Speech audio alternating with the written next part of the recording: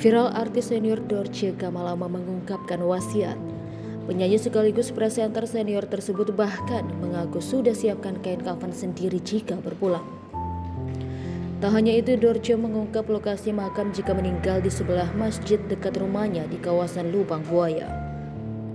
Seperti diketahui, Dorce saat ini terus berjuang melawan sakit dari penyakit yang diidapnya. Dia sebelumnya kembali mendapat perawatan medis di rumah sakit. Kini, aktris berusia 58 tahun ini menggunakan kursi roda untuk beraktivitas. Dalam video viral terbaru itu, Dorce pun membahas soal kematian.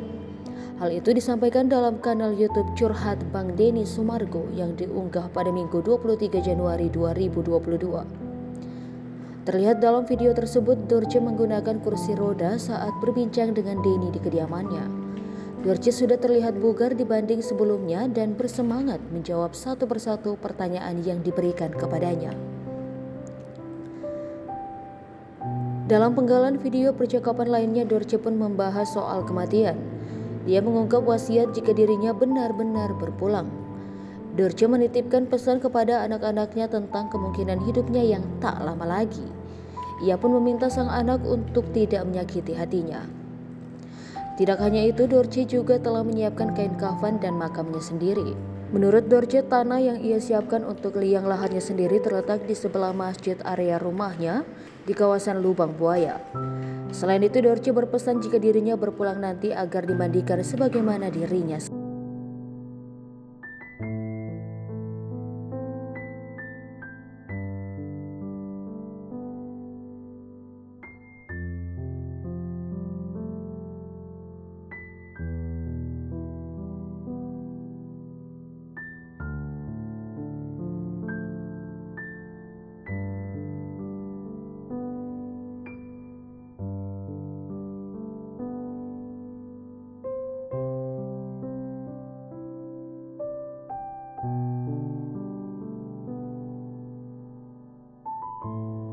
Terima kasih sudah nonton.